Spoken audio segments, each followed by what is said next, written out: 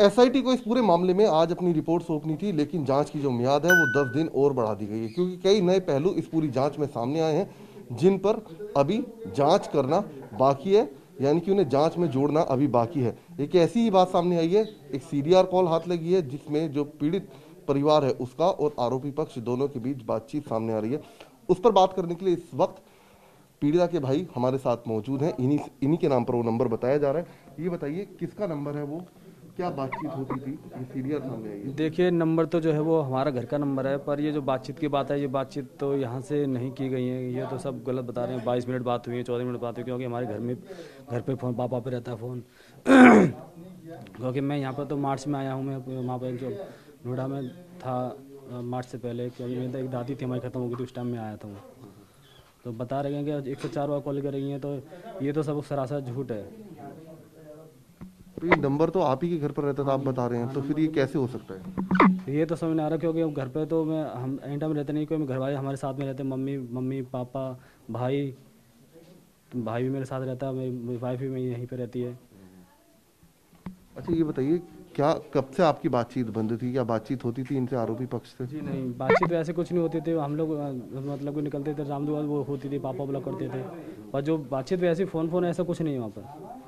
ये phone phone के बारे में से कुछ नहीं है। ये तो गलत बात है आज चलते भी उस तरीके की बातचीत नहीं थी। जी नहीं बिल्कुल भी नहीं। तो ये बताइए कोई वकील वगैरह आप लोगों को मिला अभी केस लड़ने के लिए अभी? जी नहीं सरकार तो वकील तो कोई अभी हमें मुहिम करा नहीं गया।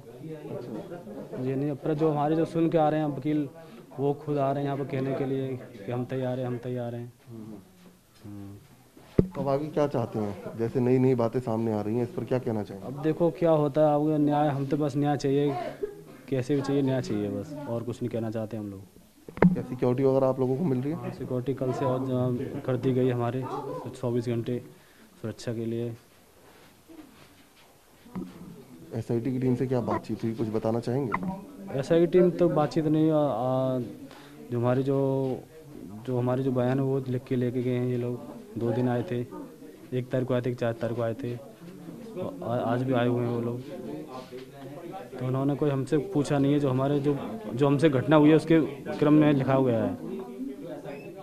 तो बिल्कुल, ये आप देख देखिए, ये पीड़िता के भाई हैं, जो कि साफ़ तौर पर इन बातों से इनकार कर रहे हैं कि उनकी आरोपी पक्ष के साथ कोई बातचीत होती थी।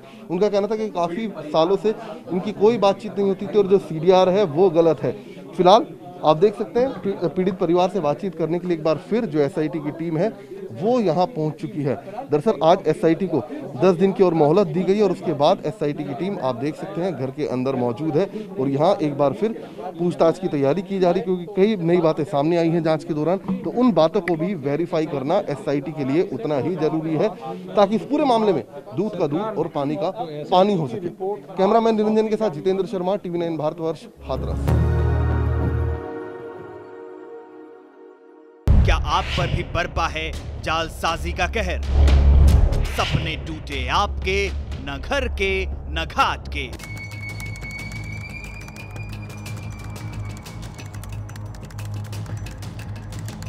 देखिए लूट घर हर रात साढ़े नौ बजे। फ़िक्र आपकी